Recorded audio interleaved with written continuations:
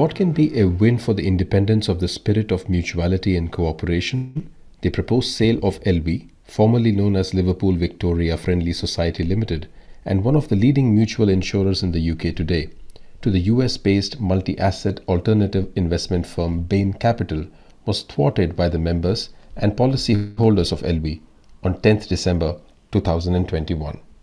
Founded in 1843 as a mutual offering penny policies to give poorer families in Liverpool the chance to bury their dead with dignity, LV is owned today by its 1.2 million members. In 2021, LV asked its members to cast their votes in advance by proxy, either online or by post, and decide on the future of the business, in particular, to approve the acquisition of the LV business by Bain Capital, and secondly, a scheme of arrangement to complete the transaction of the sale. Out of nearly 175,000 members voting, which is less than 15% of the total membership of LV, 31% voted against and 69% in favor of the sale a 75% votes threshold was needed for the sale to go through. While informing the results of the vote and its implications, the website of LV reports that the mutual was still seeking investment to remain competitive and to grow over the long term. It adds that the LV board had listened to the member concerns about the loss of mutuality and will in particular explore whether mutuality can be retained either on a standalone basis without undue risk to members or through a merger with a larger mutual organization. LV is currently at an early stage of exploring possible merger with Royal London, a bigger mutual insurer in the UK. On 16 December 2021, the Cooperative News UK reported MPs in Westminster Hall debating on the role of co-ops and mutual sector included a special discussion on the LV, and politicians from all sides had been critical of the handling of the deal, despite the compelling case the management had made for the deal while recognizing the threat of demutualization and at the same time acknowledging the rare display of LV members' powers and right to choose in the instant case, some MPs did wonder if only time will be the judge of the decision to block the sale. As the world keenly watches the soon to be unfolding next chapter of the story, Ms. Ann Apps, lecturer at University of Newcastle Law School and member of the ICA Cooperative Law Committee, speaks to Mr. Peter Hunt, former General Secretary of the Cooperative Party UK and currently the managing partner of Mutuo, a UK based consulting firm for mutuals and cooperatives, about the details of the story so far, what lies ahead, and the impact it might have on the mutual and cooperative sector internationally, where on one hand, the movement is discussing its basic values and principles with the aim to deepen their practice, and on the other, capital continues to be a conundrum for cooperatives and mutuals. Mr. Hunt is also the co founder of Supporters Direct, which went on to establish over 100 supporters trusts at professional football clubs. In 2018 and 2019, he led the successful Industry Alliance to develop the Australian Treasury Laws Amendment Mutual Reforms Act 2019, the first renewal of Australian mutuals legislation for 20 years. Okay, so good morning and hello, Peter. Uh, I should say good evening to you. So I'm in Australia and, and Peter is in the UK. Thanks so much for agreeing to this interview. Um, I'm looking forward to this conversation very, very much. But before we deep dive into the world of co-ops and mutuals, I was hoping that you'd give me a little bit of uh, a background about yourself. Tell me a little bit about yourself and how you became involved in uh, the movement, I suppose, the co-op movement, the mutual movement, just uh, in the UK, but also internationally, because I know you from the work that you've done in Australia. Well, that, hi, Ann, and uh, good morning to you. And um, thank you very much for uh, getting up um, to, to talk to me. Um, I guess um, my uh, story with the cooperative sector starts in my childhood when both my parents at some time or other um, worked for Leicester Co-op in, in England. Um, so I guess it was uh, always in my blood, you know, it was a sort of part of the an institution in in my community and um, something that had always been um, part of my family. Um, and so um, I went to university, studied, um, and I'd never really thought about working in the cooperative sector, but I wanted to work in politics. And so um, the short version of the story is that I got um, a job working for the Cooperative Party. I was the um, party's administrative officer back in 1994. And uh, it was a very exciting time because um, politics was changing in the UK at the time, and you know we were just going through a boost. The Cooperative Party, for those who don't know, um, is connected to the Labour Party in the UK. So it's a social democratic party. Um, it's been going since 1918 um, and uh, stands joint candidates with the Labour Party. And at that time, um, there was a new leader of the Labour Party, Tony Blair, um, people will have heard of. And uh, uh, there was great hope that he was going to win the election. And he did that in 1997. And by, by that time, um, I was working I'd changed jobs in, in, in the co-op party and I was working as a, a regional organizer. And um, I got lucky, I guess, in 1998 when very young for, for, for the job. I was only 31, but I got the job of general secretary.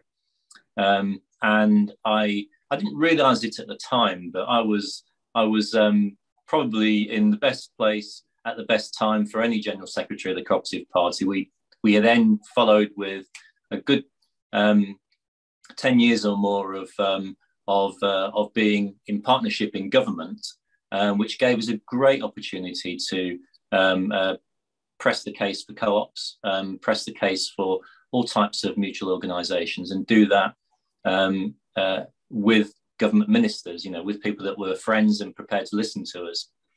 Um, it was clear, though, at the time that we couldn't do that all on our own, and we wanted to work more broadly with the wider mutual sector. And so um, we established Mutuo 20 years ago now, 20 years ago last month, in fact. Um, and the idea behind Mutuo was to do the same work as the Cooperative Party, but to do it across all types of cooperatives and mutuals and to work with um, all different political parties because we did have supporters in different traditions.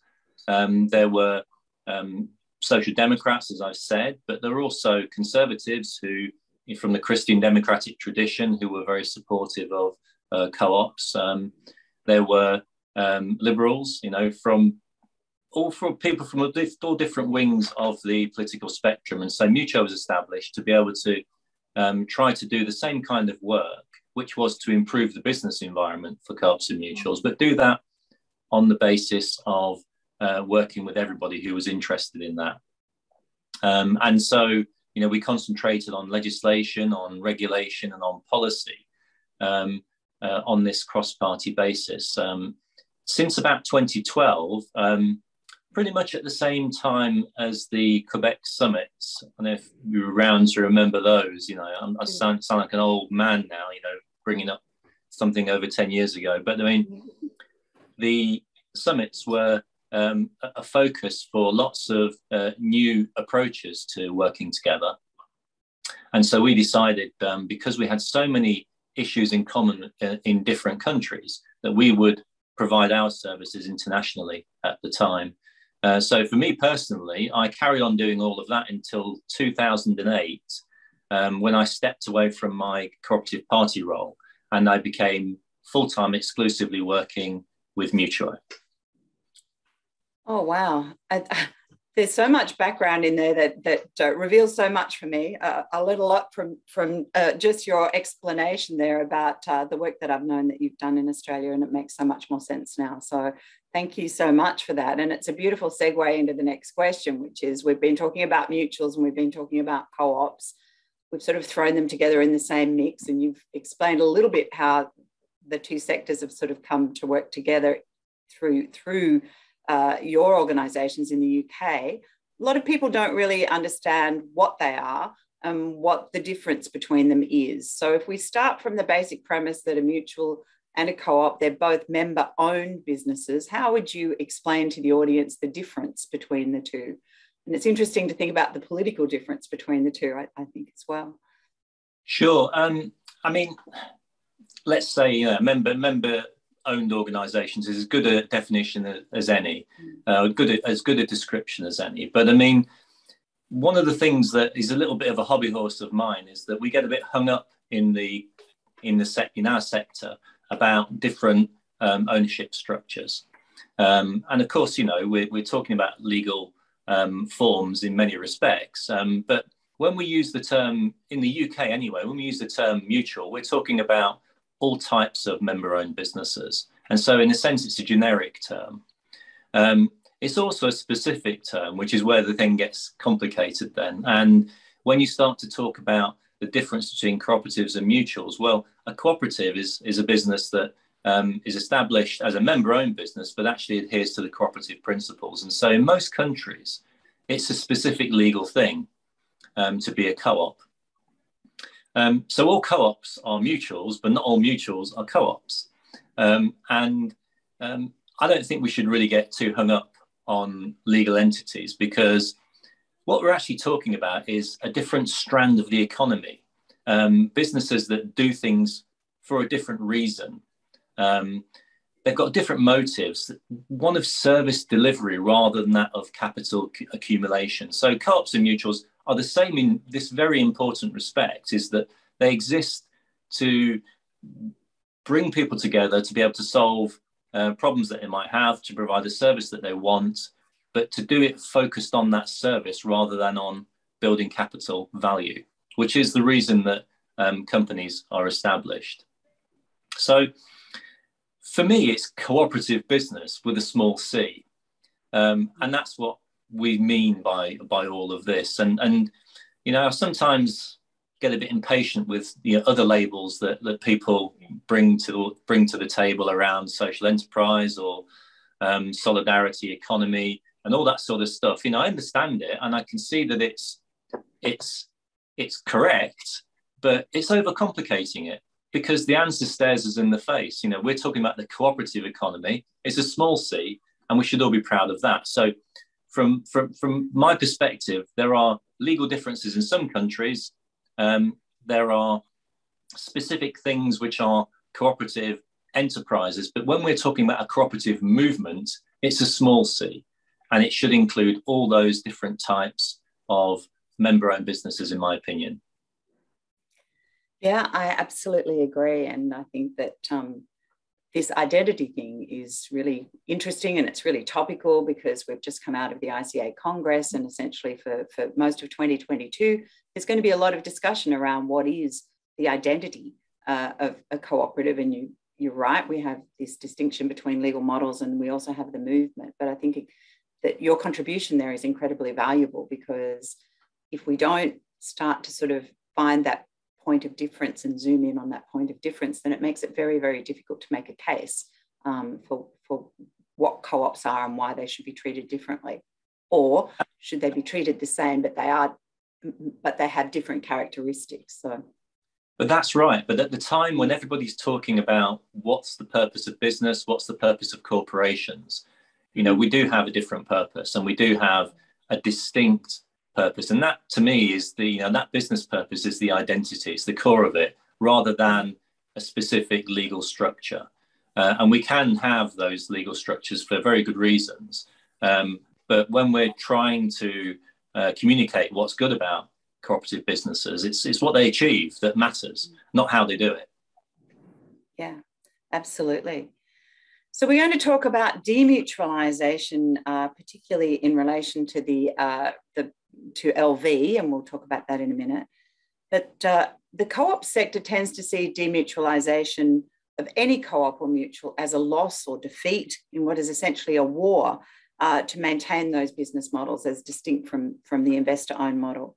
So I was wondering if you could explain a little bit about this. What we use the word demutualization, but again, I don't know that our audience know what we're talking about when we say demutualization. Um, I think we assume that people know.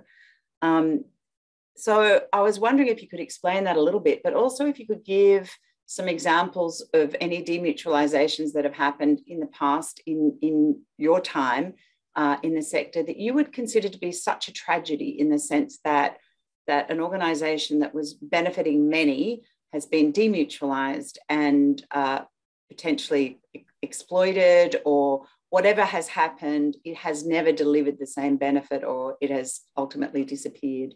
So I just wondered if you had any examples. Yeah, well, uh, all of them. Or many. right. Well, look, I mean, let, let's let's start at the beginning. I mean, strictly speaking, demutualization is the loss of mutual status. And you know, going back to what I've already said about the different types of co-ops and mutuals, whatever the way they're organized, if you take that status away, um, and they're no longer owned by their members, then you can say they've been demutualized because it's the member ownership which is the mutual part of the core of the business. So that usually, in practical terms, means they've been converted into a company, which is either a private company or a public one. And you've got these examples of demutualizations in financial services in particular, um, where that um, has taken place in some countries, you know, in, in a very big way. Um, the, the reason that people put forward for these demutualizations are normally, you know, around capital. Um, so we all know what the capital conundrum is in the cooperative, you know, which is, you know, how can you get investment into the business without risking demutualization?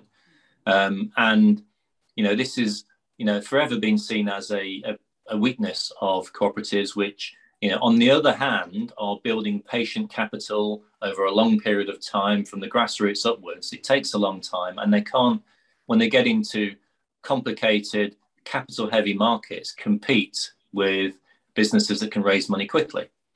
So the argument about access to capital is that, well, you know, cooperatives and mutuals, they can't raise capital. So you have to demutualize them so that they can carry on their business um, in a different um, uh, corporate format. But the question really is, is what are they actually carrying that business for and for whom? You know, once they've demutualized, you know, who, who do they firstly belong to? uh, not the same people, and who do they serve, and, and, and what is the business purpose, which is the crucial question, really, for me. Um, because if it's owned by investors, then its purpose is to build capital value for those investors. It's, it's, it's actually written into the law of most countries that that's the job of a company for, you know, to, to build capital value for its investors. And you can take the directors to court if they don't achieve that. Um, so it's no longer the same business. So to answer your question directly, you know, where's an example of where a cooperative or mutual has demutualized and it's ceased to serve its business? Well, it can't serve the same people because they're no longer the owners, they're no longer the stakeholders that the business exists for. So um, it's something else. It's a different type of entity. Mm-hmm. But then if we if we look again at this argument about access to capital. Um, and we can start to deconstruct it because, in lots of ways, it's a false argument.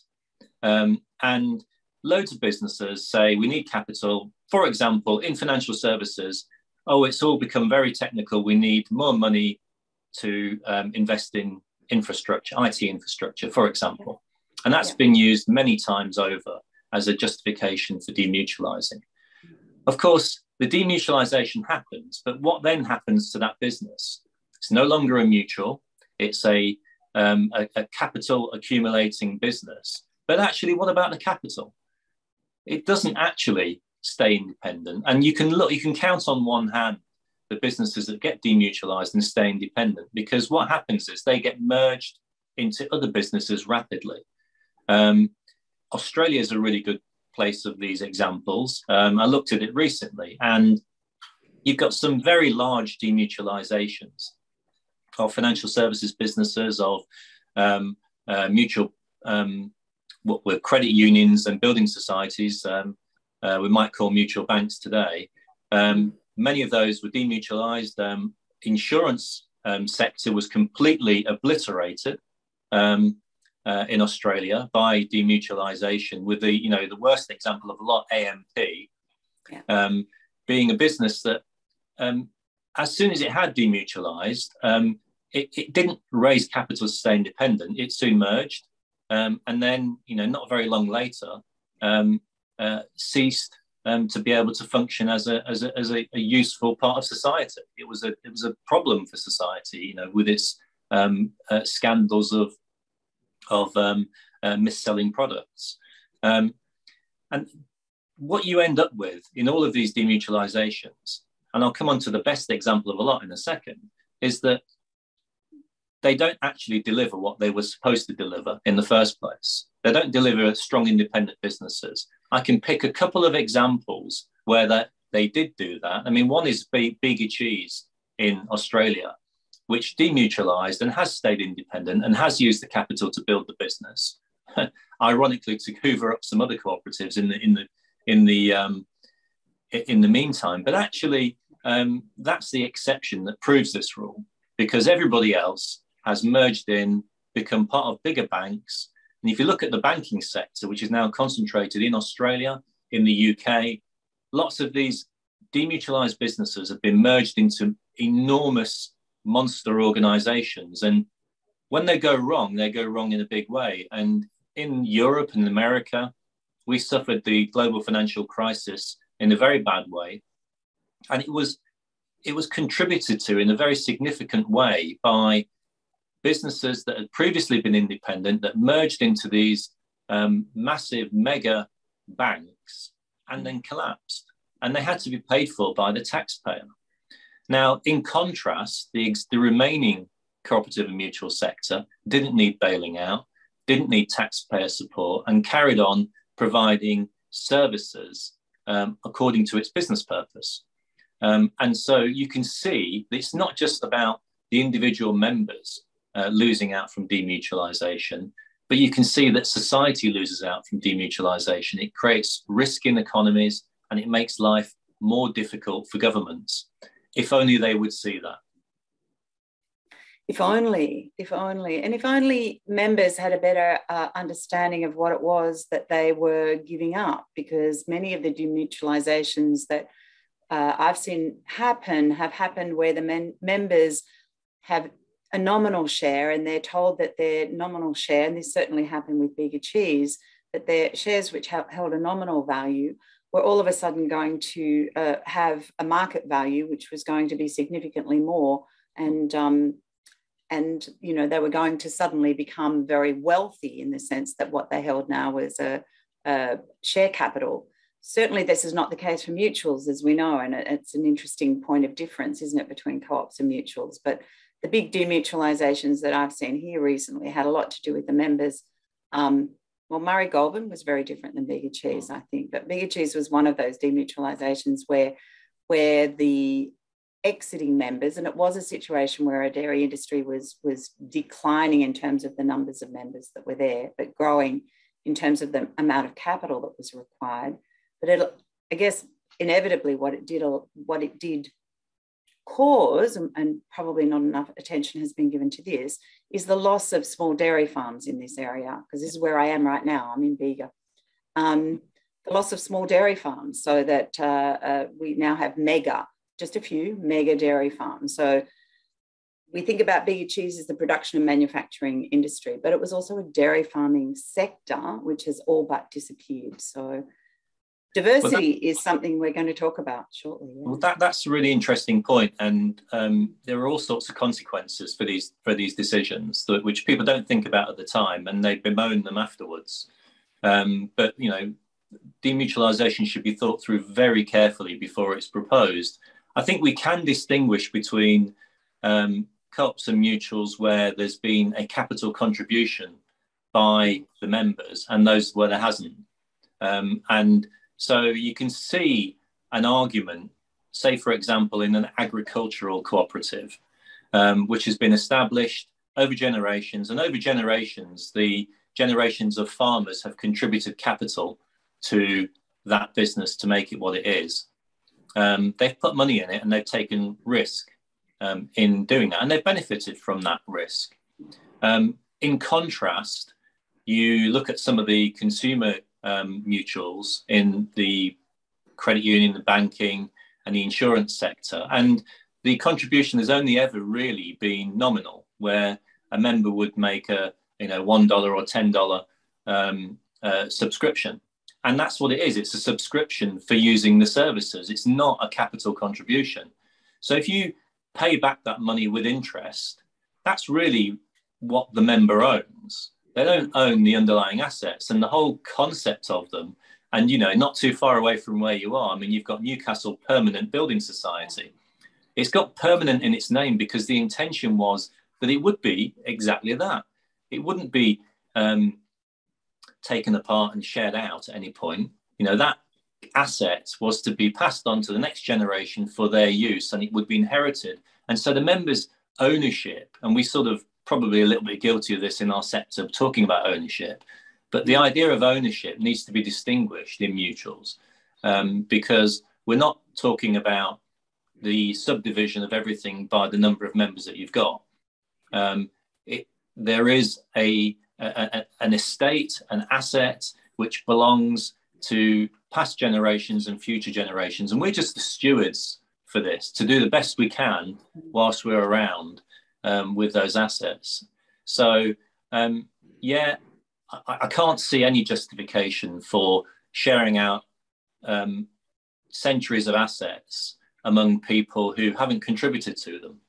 Um, and you know, we saw in lots of countries, UK in particular, people would join just before a deadline in order to be able to carpet bag um, yeah. some of those assets. So you know, it's completely corrupt and should be outlawed.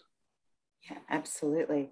Um, it's it's a lot a lot about I think the movement or the sector having to fit a, fit their business, you know, which is a square peg into a round hole in many ways, and that has and that sort of brings us to a really interesting point. But I'm going to come back to it, which is about diversity because the no brainer in all of this is diversity, isn't it? You know, we we talk about diversity everywhere. Oh, we need diversity on boards. Or if you've got an investment portfolio, oh, you, you shouldn't put all your eggs in one basket. You need diversity. Yet here we are talking about, um, you know, types of businesses across a sector, and we don't have very much diversity. And as you say, particularly if they're amalgamating, uh, merging vertically, then we're ending up with all our eggs in one basket. And we, we, we suffered from that through the GFC, but it seems like we haven't learnt that mistake. So I'm going to come back to the question of diversity, but we're here to talk a little bit about um, the, the voters' rejection of the takeover bid by Bain Capital of LV.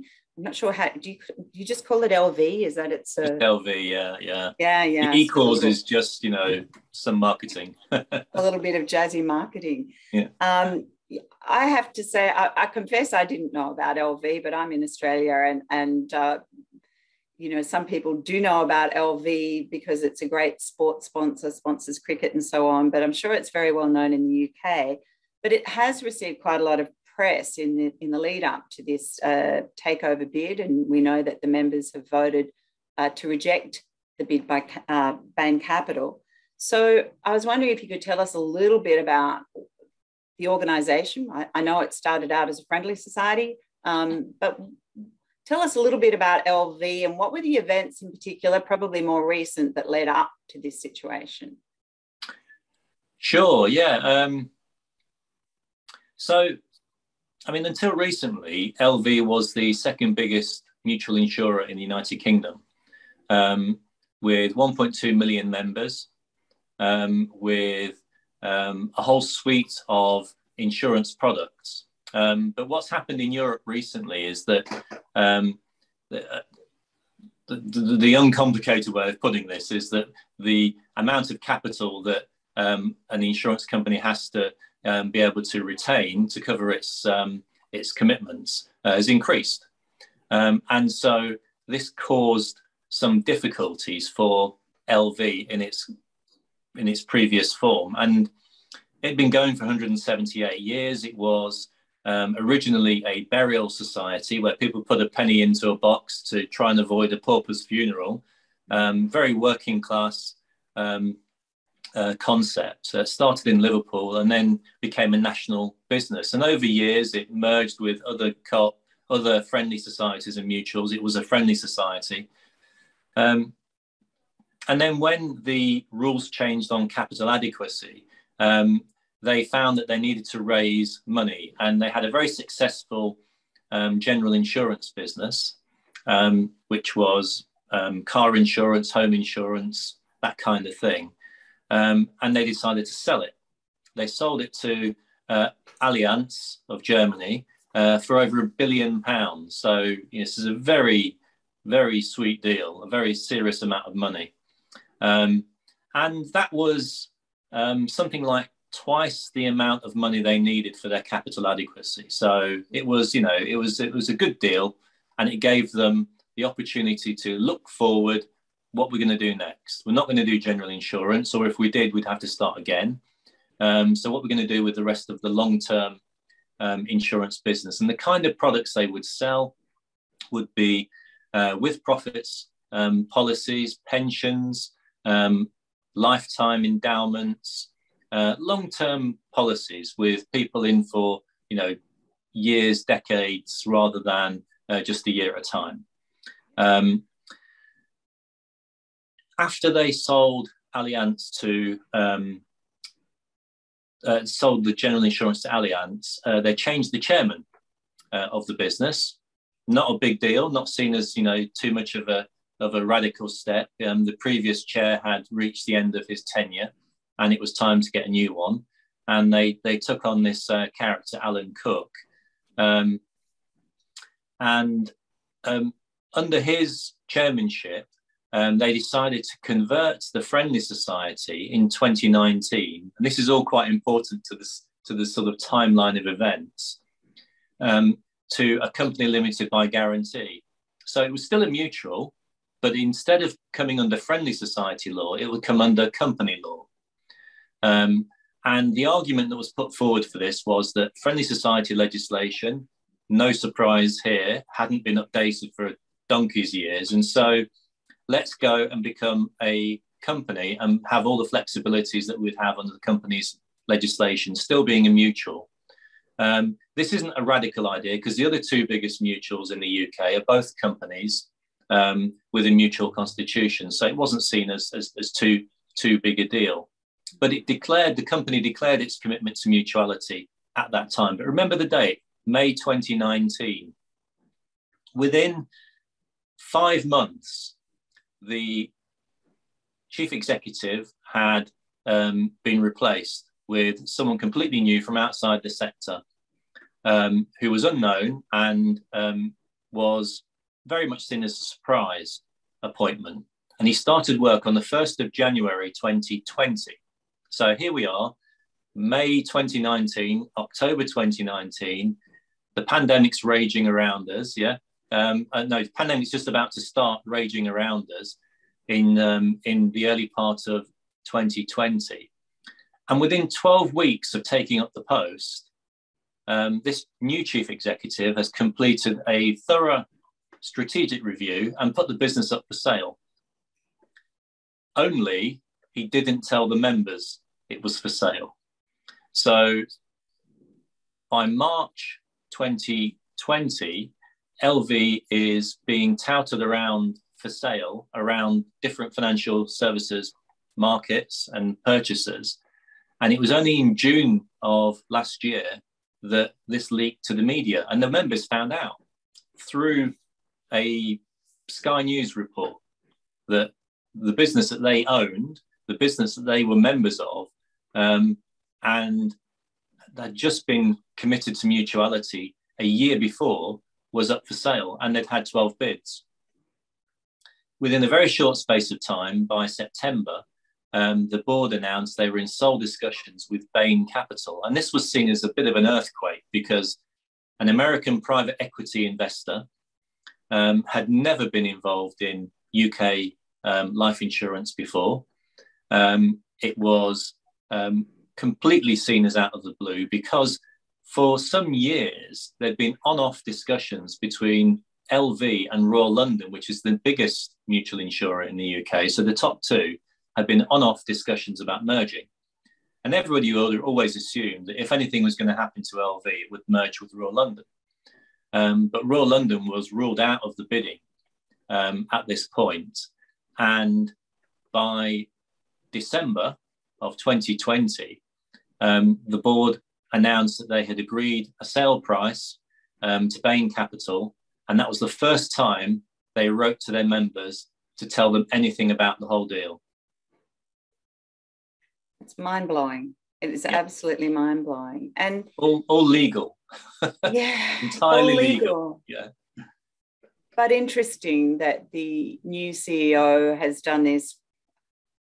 I wonder about, you know, had had he bothered to have a look at the constitution even because you know if he sold it without even talking to his members even thinking about getting a mandate do you think that he was completely oblivious to the concept of mutuality? Do you think he, he was aware of it or didn't know what it was?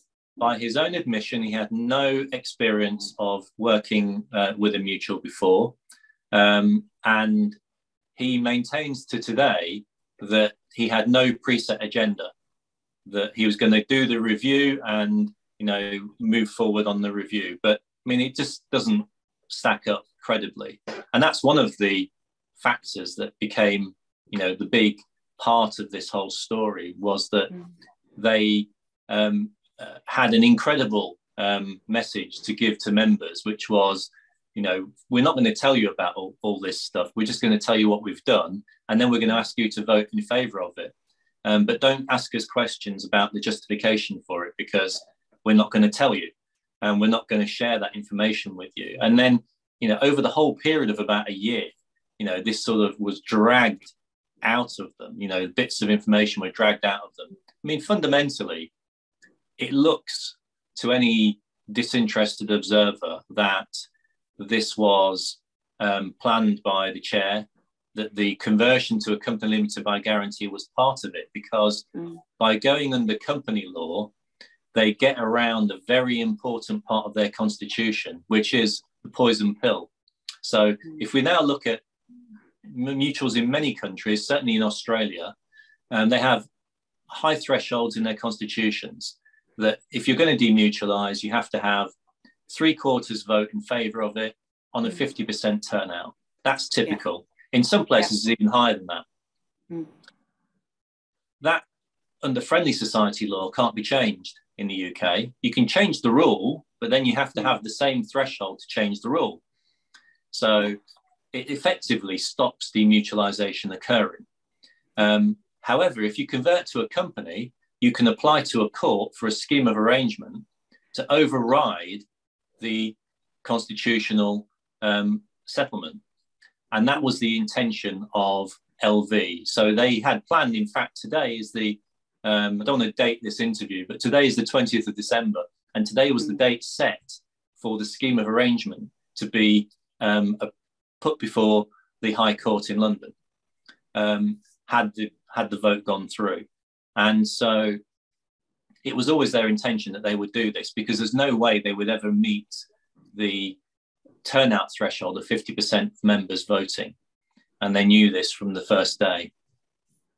So, just to clarify, am I correct that uh, because they were a company limited by guarantee, they still had to get a 75% majority, presumably because it was going to be a special resolution, but they didn't have to have a 50% membership turnout. Is that right? Well, no they did. They did, but they could apply to the court to have it overruled. Right. So okay. the scheme of arrangement would have been to overrule their own 50% turnout. Yeah, I, I, yeah. I, read about that. I was just confused because they, did they get a 50% turnout in the member no. vote? No, it was no. 15 in the, in the end. It was a 15% turnout. And we'll come, you know, hopefully come on to talk about, you know, some of the yeah. lessons around that that level of apathy uh, in yeah, all of them. Um, it, you know, it's almost like, you know, you had a, a, a sort of a, a, mini war between a, small number of members with everybody else sort of watching, eating popcorn. Um, but actually, you know, it was quite, you know, fierce uh, for those who had um, skin in the game. Absolutely. Absolutely. So that segues beautifully into to telling us a little bit about how Mutuo and the Co-op Party UK became involved in this and what role did they play um, in rallying in, in you know rallying the members um, so that there were at least some that were aware of what what was going on.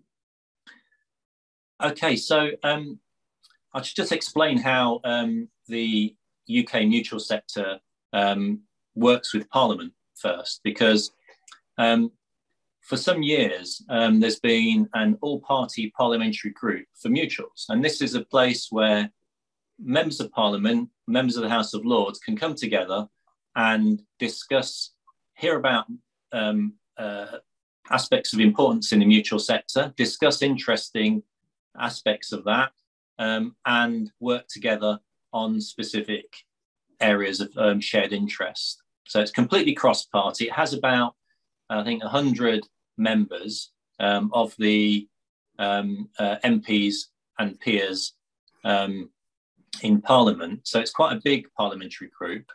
Um, and it meets four times a year. And for some years, Mutuo has provided pro bono secretariat support for this. So we've, we've managed the meetings, we've um, arranged the program and we've um, put put put this together.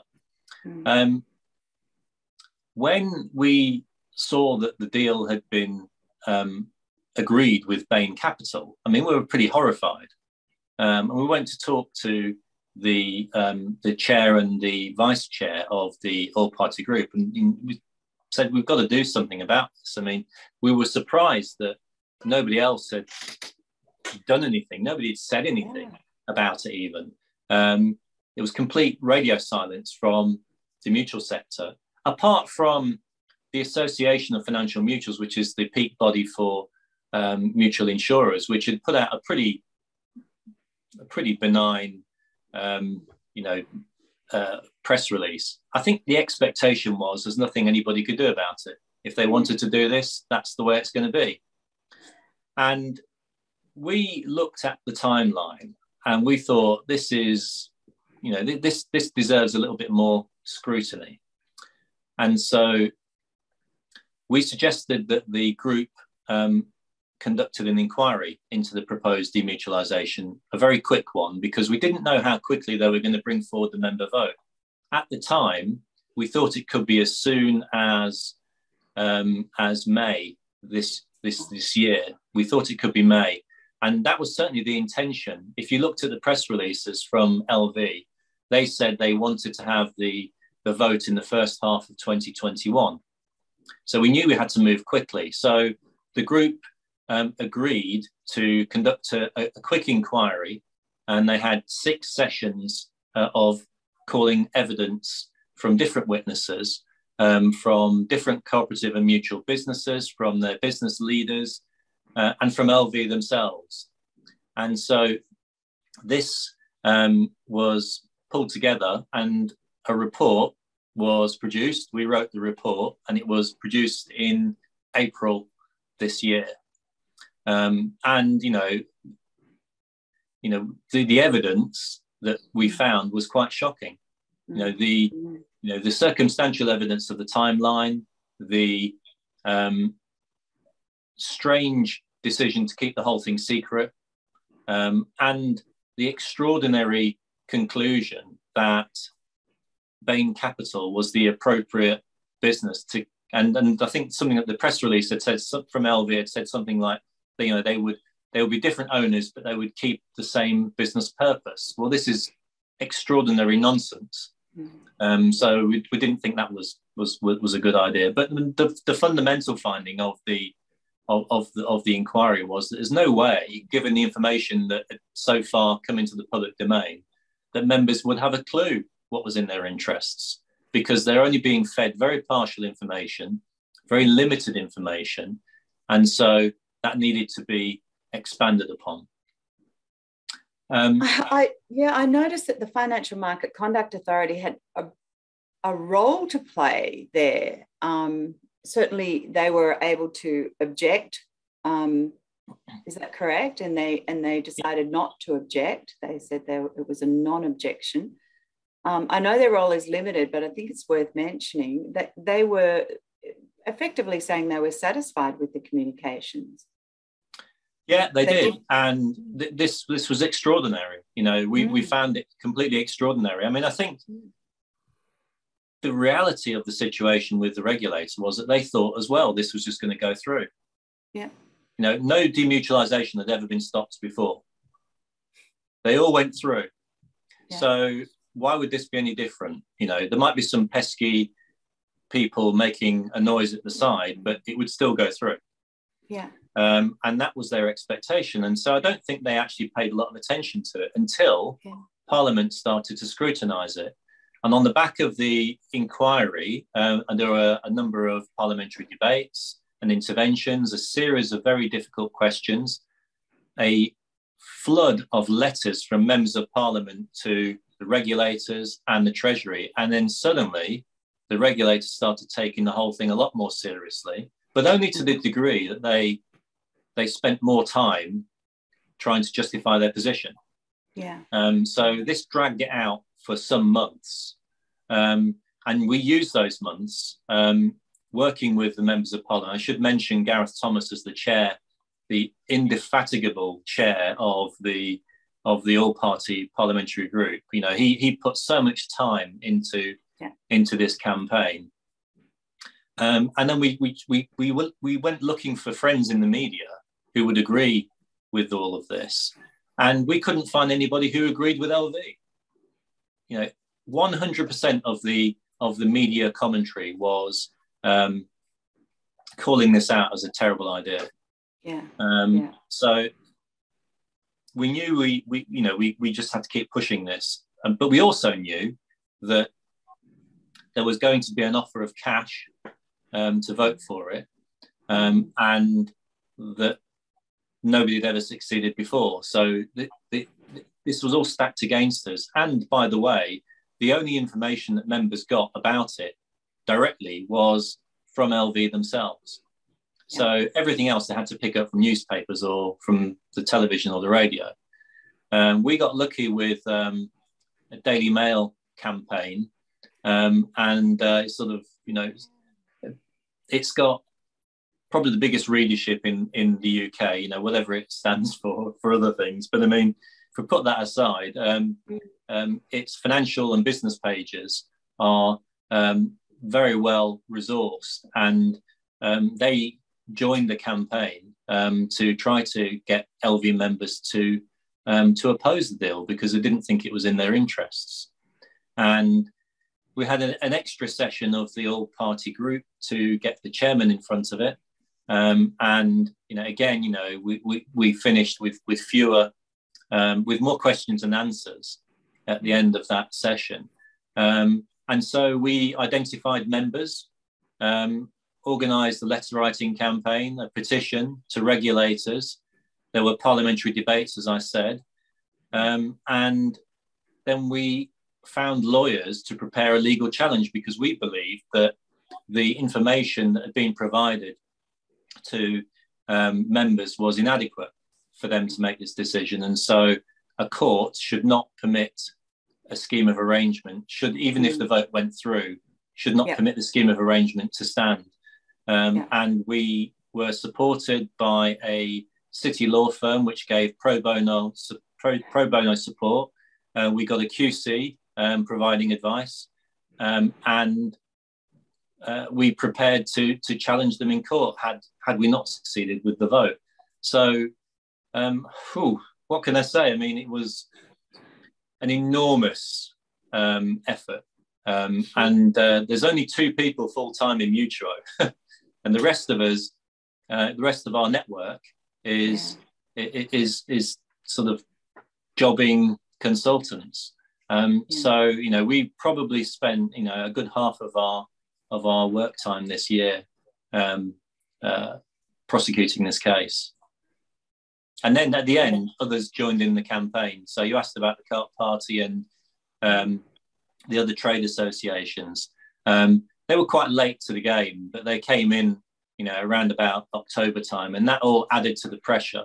Um, And so, you know, by the time that the vote happened, um, all of the uh, commentary was um, uh, in favour of the, the, arguments that we've been putting. Mm-hmm. It's really interesting to to think about this and about the strategy that that you've used, which really goes back to a bit of forward thinking about the role of the all party working group and just how important that is to have that political support across the party spectrum. And it's one thing that uh, co ops and mutuals have been able to do quite often. And we've seen that happen in Australia as well, where you get that cross party support and again, it, it, seems to me that it comes back to educating. Uh, you know, one of the really huge advantages in having those sorts of groups is that you're in the process, you're also educating those people about the value in the model and, and why it's different than a, an investor owned model. But it also tells us a little bit, doesn't it, that we've got this sort of, on the one hand, uh, the involvement of Parliament and some sort of uh, statutory implications, some regulatory um, protections, even in the sense that you could have lodged a challenge uh, had the scheme of arrangement gone through to the courts. On the other hand, you've got this sort of general view, which seems to me to have been the, the, the lay down sort of approach that everybody else took, uh, which was, oh, this is inevitable. Once the demutualisation is on the table, it will go through, which is sort of seems to me uh, what we're thinking about there is that the market it's that that that sort of almost acceptance of the inevitability of the market. This is the and this is the market and the market will do what it you know what whatever it will. Um, but of course that's not the case. Uh, you know that there is this interaction between the state and the market always there. And i just i guess what i'm really interested in and it's it's underpinning my research work is is what how can the role of the state change, the regulators change to protect diversity, a corporate diversity? Do you think there needs to be some change in the way that things are done? Like, for example, the regulator here didn't do much. Um, I, I did notice that they said that they can't consider the nature of the ownership model in in when they make a decision they're not allowed to consider the nature of the ownership model i wondered whether they should be required to consider the nature of the ownership model, for example? Well, I mean, if you go back to what I said earlier on, I mean, the reason we exist is to try to improve the business environment for co-ops and mutuals. And there are three main drivers in that, in the public realm, and they are regulation, legislation, and policy. But the most important by far of those three is policy, because policy includes the political will to do something.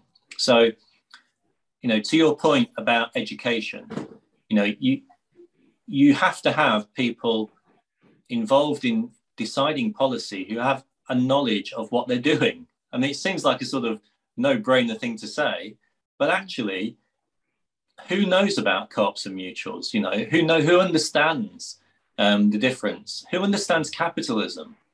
And you know that's a it's sort of a regular refrain of mine. You know, is we need to teach people about capitalism before we can teach people about cooperation, because only then will they understand the difference. Yeah. And uh, this this monoculture, this draining monoculture of mm. um, economists, of educationalists, of lawyers, of politicians, that there's only one way of doing things is what we're challenging. So it's a massive task. It's enormous. In lots of ways, you know, we can you know, pull off, you know, the occasional, um, you know, spectacular success, but overall, we're still losing on a regular basis. Um, so going back to you know the, the responsibilities and all of this, yes, absolutely, the regulator should have responsibilities to you know to to, to manage diversity because they're supposed to have responsibilities to manage risk in the economy. And if they can't see that one is connected with the other, then yeah. where are we going? Yeah. But let, let's let's be clear about it. A regulator does what its mandate tells it to do. So if its mandate is not firm enough, i.e., the legislation, the statute that sets up the regulator, then you've got to strengthen it. And so, again, to your point, it's absolutely critical that regulators have this responsibility, legal duty to ensure that diversity is not harmed by decisions like this. And then the question arises how do you make that happen? And you only make it happen if you have the political will to make it happen. And you're only going to get that if you have educated and um, informed and supportive um, politicians. And so that's why. Going right back to the beginning, it's absolutely crucial to have these kind of long term relationships built up with parliamentarians who one time will be in opposition, the next time will be in government. Um, it's a long game. You have to completely repeat it constantly. You have to educate people. But if you don't do it, there's no point running to them when there's a crisis because there's no one to listen.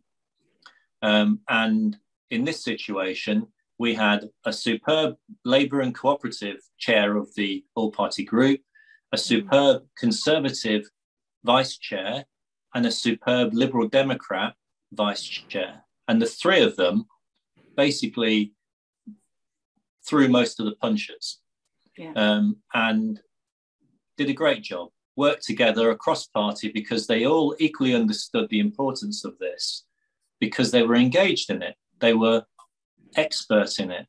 And that's something that you have to do over a long period of time. So, you know, everybody around the world has to do this. I know lots of countries do it, but it's a really important part of, of that job. And then, you know, you're an educationalist, you know, you know, you, you will know how few people actually um, understand um, different types of ownership structure and different types of business purpose. But we've got this massive opportunity now, which I'm really optimistic about, which is the movement towards people understanding sustainable business and making purchasing decisions and investment decisions based on that sustainability. And there's nothing more sustainable than the cooperative. So if you have the correct organization in the co-op, if you have the correct um, communication in the co-op, then you've got a real opportunity to take advantage of all of that. And the pennies will drop all around, you know, with, with the politicians, with the educationalists, with the lawyers and everybody else. They'll say, oh, that's what you mean. yeah, we're not actually talking just about a, a, a, legal structure. We're talking about a business purpose. Yes. And we're different. It's a cooperative business purpose. And if you can like that and enjoy um, supporting that, then you need to make sure that the legislative, regulatory, and policy framework makes it happen, makes the environment work. I think that this, this is a great, we're entering a very optimistic period, I think. Mm.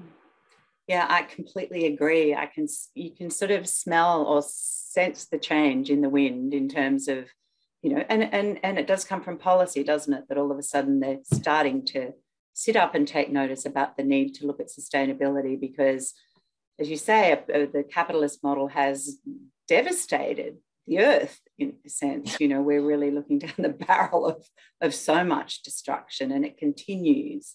Um, like this rolling, you know, machine that's just exploiting and extracting and exploiting and extracting. And to exploit and extract, it's looking at, you know, limitless growth. Uh, so it's it, it, interesting.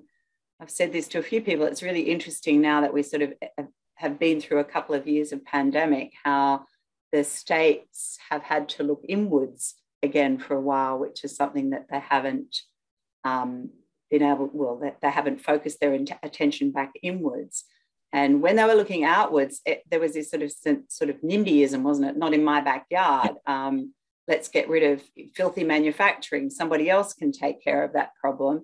Um, and now all of a sudden they're going manufacturing. We can't import anything. Nothing's available. You know, like oh, gee, maybe we need some manufacturing industries. And um, it's an interesting time um, when you think about that together with sustainable business that we can all of a sudden say that hey, yeah. And I loved you. You've almost given us a byline that there's nothing more sustainable there's no more sustainable business model than the cooperative model. That's right. And it's about getting people to understand what we mean by that sustainability. And it's about a different business purpose. And to me, that's, you know, everything that that that encapsulates why we do what we do. And um, that's why it was worth fighting. You know, we were fighting for that. We were fighting for the business purpose. We weren't just trying to stop Bain Capital. Although, to be fair, I mean, I think if they'd succeeded, the next thing they'd be doing be looking for other victims. Um, and you know what what what do they do? I mean, you can't blame them for doing what they do. That's what yeah. they do. Yeah, you know? that's their business. That's their business yeah. purpose. It's that's to... exactly right. Yeah, yeah. So we understand that. So yeah, know, it's not being yeah, any doubt. They're not going to be um, our, our sugar daddies anyway. Hey, that reminds me, sorry, that just reminded me of in Australia, you might be aware we had a banking royal commission a while ago and mm. revealed the terrible behavior of some of the banks. And and and it was just fascinating. I remember a fellow cooperator and I were talking about this where, where the the uh, the commissioner was saying it's just terrible because they're they're not looking after their customers. they're looking only looking after their investors and say how terrible that was. And we were like, yeah, but that's the business model. Yeah. they're just yeah. doing what they're supposed to be doing, which is the business model. So and that's right. And that's when I say I don't think people understand capitalism, that's what I mean. Yeah, yeah that's what they do. you know, don't be surprised if they do that, you know. And if they yeah. cut corners and they you know, try and find ways of doing more for their uh, investors because that's where they get their incentives from and that's how they get paid. Absolutely. they're going to do it. Yeah. You know, so yeah, we shouldn't be naive about that. Mm. Unfortunately, I think there is too much naivety about about exactly that, and I think that's probably a segue into the, the, the second part of this question. We've talked about how you were able to to get that support, that really important support from the politicians, and how, what a difference that made. But what about the member base? Because we've only had a, LV only had a very small turnout, and whew, you know it, it uh, it's a bit scary when you think about it. Um, 85% of the members of LV didn't turn out to vote. I'm not that surprised. I think in, for a customer owned business model, that again, there is this general apathy, which is a bit like the new CEO uh, thinking, well, we don't have to tell you about this. That he was essentially treating them like they were the members of an investor owned organization, where essentially member members showing up to vote at, at a general meeting, it, it, they're not factored in. It's considered that only a very small proportion of members will be, and then they rail against shareholder activism, don't they, if there is any. Yeah. Um, so, so uh, what do we, what do we think about this this issue? You know, you're a mutual, you're a member-owned business, and and yet most people don't vote. They don't exercise that democratic right, which is such an important feature, core feature of the mutuals is one member, one vote. Um, so, so what can mutuals do? Do you think? How, how can mutuals change this? Is, is are there things that they they're not doing well that they could do better? Well, firstly, on the numbers of this um, of this demutualisation vote, um, eighty-five percent of members didn't vote, fifteen percent did. Normally, in their in their annual meetings, they would, or their um, special meetings, they would get 9%. So they had an increase of 50% in turnout yeah, on this yeah. on this vote. Um, yeah. But it's still small numbers. Um, but you can see from these small numbers that um, you can crunch them in different ways. And one of the ways you could crunch them is that if they had if they had even reached the 75% on the 15% turnout, it would have been something like 10% of the total qualifying membership. That, and you, you can't make a decision to demutualize a business on that basis. That's why we have supermajorities built into um, constitutions, and that's why they need to be maintained. And that's why, you know, we should not permit um, those supermajorities to be undermined by uh, some clever legal uh, ruse, which is what was proposed here. But anyway, come back to your question. I think there's a few lessons from this, which are um, separate from the legislative and the regulatory shortcomings. I mean, the first one is is is a positive message, which is that demutualization it can be opposed successfully. It's not inevitable, and so you know the. the, I can't count the number of people in the last week who've spoken to me and said, "Oh, we never thought that would happen. Oh, we never thought that would." You know what? In the last two weeks, I did think it would happen. Yeah. I did think we could do this because I still hadn't come across a single person who wasn't paid for by LV who thought it was a good idea. So, you know, of all the people who were offered cash to vote for this, um, not enough of them wanted to do it. And I think that's, you know, at least a small victory. But moving on to the sort of, you know, the sort of failure of engagement in all of that, um, I think the first thing to say is that mutuality, in my experience anyway, only really works where there's good faith and trust. And that's built up over time. It's built up through communications. It's built up through engagement with uh, members. And if you look at the businesses that have demutualized, they're the ones that haven't done that. They're the ones that haven't engaged, that haven't um, kept that communication going. And so I think, you know, there is a correlation there between those. So lesson, the big lesson in all of that, lesson number two is that there has to be um, good faith and trust. And it's a two-way process that's built up over a long period of time.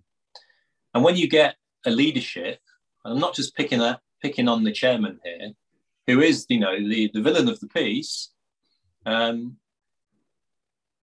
but the board supported him all the way through. You know, all of them. They're all responsible for this clear, if even if they think they were right, it was an error of judgment because they didn't get the votes. So um, I don't think that they've operated in the interests of the members, and they're certainly not communicated and participated with the members at any point.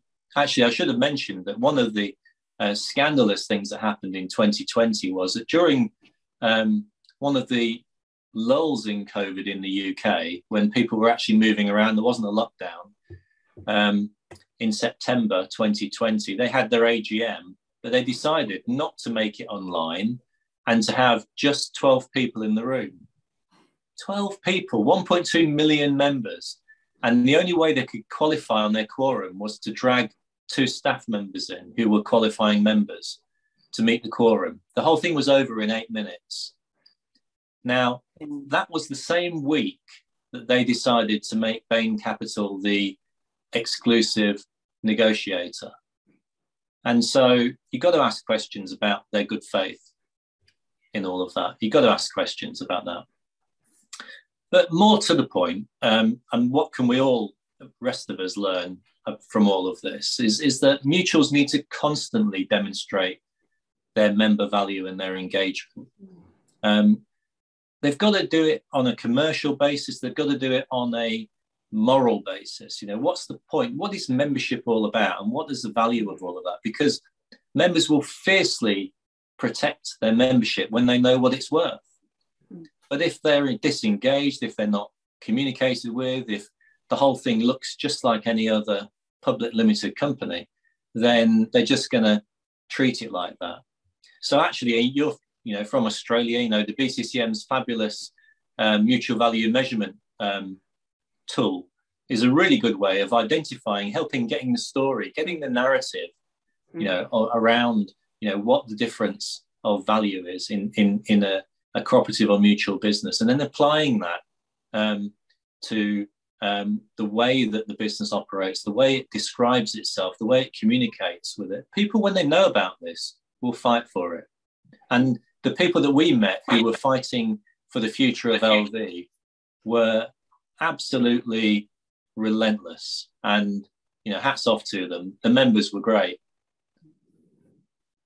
Yeah, it really does come back to governance in a way, doesn't it? Because this is something that I'd picked up in some of my research. And it's a bit of a problem when, in a competitive environment, co ops and mutuals have had to grow to compete. So, so you know, once the, the their competitors are getting bigger, they they also feel like they've got to get bigger. So you have these amalgamations. But one of the things that I came across, and I thought it was really interesting, that as these organizations get bigger, their member see, co-ops often have mainly members on the board but they start to feel a bit inadequate and they feel like they need some external help and consultancy because of the complexity of their business models the danger is always that those people will come in and they don't know anything about the model at all. So they've come in from the, the corporate sector. One of the things that I came across was that a sense that, particularly on boards, you know, when the boards, when you're a board of an organization that's starting, that's quite big and powerful, there is this sense, and I just say I think it's a little gendered, that they might uh, be not big boys. They're not playing at the big end of town, so that that uh, they feel the need to shed this, you know, sissy co-op uh, mm-hmm. outfit or whatever, uh, so that they that, that, they are actually recognised as big boys in town. And and I, have come across this, and I find, and I, I just wonder to what extent that sort of narrative underpins what happened with LV because you've you've got a new a, chairman that's that seems quite determined to get rid of uh, mutuality. And, and I did notice somewhere in a press release where the CEO said, "This is a model that does no longer suits this business. You know, it's it doesn't fit us anymore." you know? Yeah. So I, yeah, I wondered if you, what you thought about that because then I think you're right I, because I think the solution to that does come down to um, to mutual value measurement. Like the, the, the problem is if they've been told to measure their business value using indicators that don't rec- recognize or reflect the business purpose, then they're going to see that their measure of success is different, actually. Um, so their measure of success is that they're, you know, recognized by the big boys down at the big end of town, and and they're measured on some sort of financial efficiency. Um, whereas mutual value measurement is starting to bring in these other things which might reflect the business purpose, and that seems to be more important because, as you're saying, if they get that right, if the governance, if the people who are in power understand the model, then they will communicate it well to their members, then their members will understand it and have something to fight for. Yeah, I think that's all all correct. I mean, at the end of the day, um, there was a lot of suspicion about self-interest uh, from the chair and the chief executive. Um, I mean, the one thing can be clear is that we couldn't work out who would benefit as a member from this, but we knew that the chief executive and the chair would both benefit um, financially from the deal because they'd get a new job out of it. And um, you know they weren't hiding this; they admitted it. Um, but surely that ought to have made them inappropriate people to be doing the negotiations with Bain. Um, but anyway, um, mm-hmm. if we put that aside and you think about the sort of you know structural part of all of this, um, I think you're right about this um, attitude that somehow you know a mutual isn't as good as um, a listed company. Um, having said that, the fees paid to directors um, and to the chair were just as good as a comparable size um, listed company. So they weren't um, uh, holding back on, on, on that score. Um, I think the problem really here was that the case wasn't ever made for the deal. the board didn't trouble itself with wanting to explain. You know, there's still a slight possibility that there's a logic, a logic to this, but nobody ever found out what it was. I mean, they said they needed capital, um, so they sold the business, the general insurance, for one billion pounds, and then they boasted straight afterwards they were the best capitalised mutual in the UK. They were actually the best capitalised insurer in the UK at that point.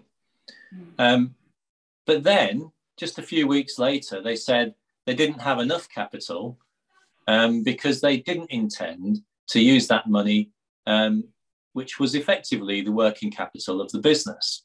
And they needed another 100 million pounds for IT and all sorts of things. And you had to drag the number out of them. They weren't going to say how much they needed. Mm-hmm. Um, but in reality, it was the board not wanting to invest in mutuality, didn't believe in itself. Um, and probably for all sorts of reasons, uh, that, that had been you know, coming for a few years, not just because of the chairman. You know, they didn't have people on the board who could make that case. Um, ironically, in the end, they spent 43 million pounds of members' money on this failed sale, which is half of what they said they needed. So you've got to scratch your head and think, you know, you know, maybe they needed somebody with a calculator to start off with to be able to, you know, work this all out, because members never got to the bottom of the capital issue.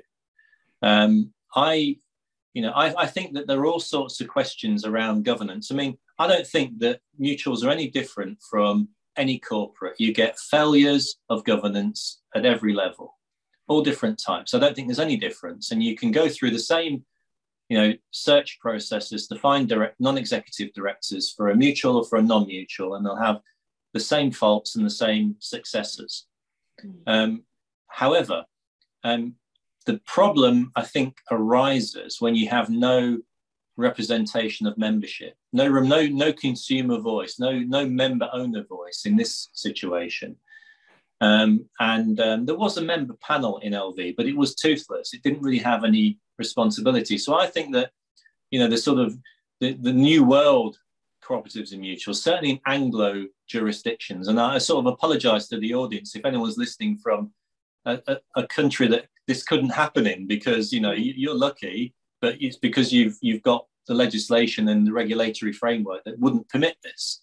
Lots of countries around the world don't permit this kind of asset stripping because they understand the value of mutual ownership and they understand the value of um, of indivisible reserves and of um, capital which belongs to the estate rather than to individuals.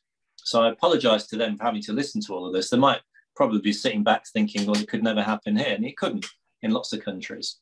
Um, but in Anglo jurisdictions, you know, we probably need either to have new legislation which makes it as good as they have in France, Portugal, Argentina, and other countries, you know, too numerous to mention, um, or we need to have an Anglo version of governance which makes sure that there is a voice for the member. And so it's not all done on, on a proxy basis on, on their behalf, that there is a voice, maybe a supervisory board, maybe a two tier structure, something like that, maybe some control over who the chair is, the appointment of the chair. Hmm. Um, and, you know, Mutuo's done work on this um, for different new mutuals over the last 20 years in the UK. And it's been very successful in every case they've established when they've started from scratch two tier structures. So you do have this, this, um, this, this real um, relationship between the membership and the governance of the of the business. That's another subject area. But I mean, it does show that, you know, you're going back to the point I made before, you've really got to have good faith and you've got to have people wanting to make a success of the mutuality for it to succeed. Otherwise, you know, it can fall apart so quickly.